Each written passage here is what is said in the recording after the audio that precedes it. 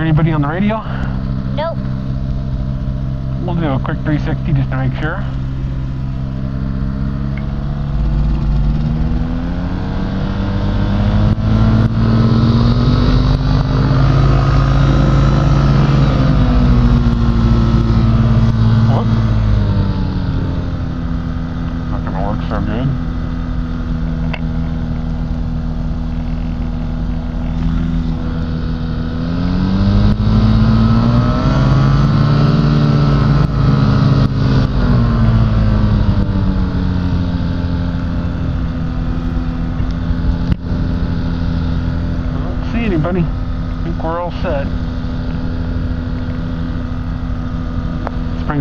Terminal Challenger 443 Sierra Romeo departing 35 right, Springs East.